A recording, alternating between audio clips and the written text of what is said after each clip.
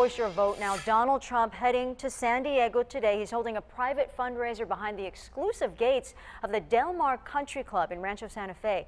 Trump is also in a war of words this morning with Supreme Court Justice Ruth Bader Ginsburg. She told the New York Times, quote, I can't imagine what the country would be with Donald Trump as our president. Well, Trump fired back on Twitter saying, quote, her mind is shot, resign. We can also learn as soon as Friday who will be Trump's choice for running mate. The top contenders include these three men.